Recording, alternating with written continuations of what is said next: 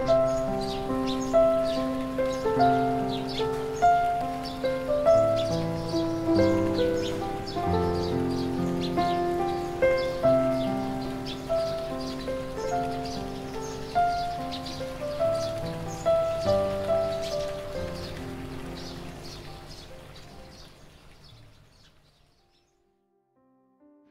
nama Bapa dan Putra dan Roh Kudus. Amin.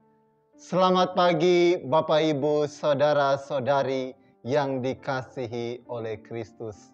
Selamat berjumpa kembali dalam renungan harian edisi 24 Agustus tahun 2021.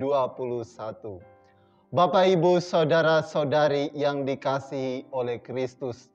Pada hari ini kita mendengar sabda Tuhan yang berbicara tentang bagaimana Yesus memanggil manusia untuk menjadi pengikutnya.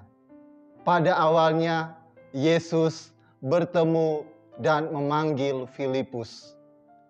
Lalu Filipus menjumpai Nathanael dan dia memberi kesaksian tentang Yesus Kristus.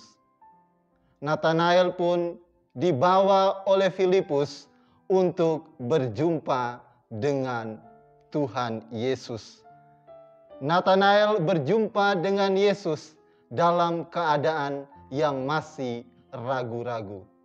Perjumpaan ini adalah perjumpaan yang sangat indah dan sederhana yang menjadi peristiwa yang mencerminkan bagaimana Tuhan memanggil manusia.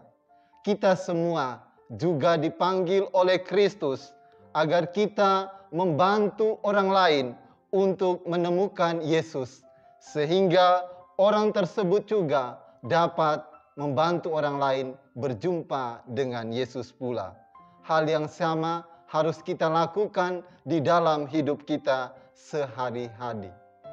Datang dan lihat adalah undangan yang dapat kita tawarkan kepada orang lain agar mereka memperoleh kasih Allah.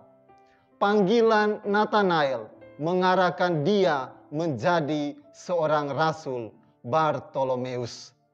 Panggilannya telah mendatangkan keselamatan bagi dirinya sendiri.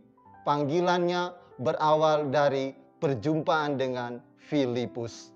Filipus memberikan kesaksian tentang siapa sebenarnya Yesus. Pada awalnya ia ragu, tetapi di dalam keraguannya ia tidak bisa menolak tawaran dari Allah. Lalu ia berjumpa dengan Yesus. Yesus melihat dirinya, Nathanael, di dalam dirinya tidak ada kepalsuan. Dia adalah orang yang tulus orang yang jujur apa adanya. Kristus juga memanggil kita masing-masing melalui perantaraan orang lain, entah itu keluarga, sahabat, orang kudus, orang baik, maupun orang yang memusuhi kita. Selama ada keterbukaan di dalam hati kita, Kristus akan bekerja dan membawa kita lebih dekat dengan Allah.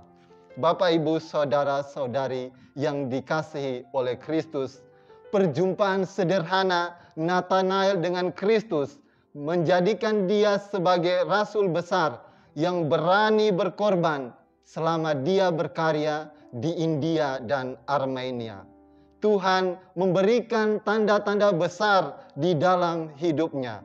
Kita juga akan mengalami mujizat-mujizat bila kita percaya kepada Yesus Kristus dan membawa orang lain melalui kesaksian hidup kita kepada Yesus Kristus pula. Marilah Bapak Ibu saudara-saudari yang dikasihi oleh Kristus, kita mohon rahmat dari Tuhan agar hidup kita tidak ada kepalsuan sehingga kita dapat menjadi utusan Tuhan dan berani memberikan kesaksian serta siap mengundang orang lain untuk berjumpa dengan Allah. Dalam nama Bapa dan Putra dan Roh Kudus. Amin.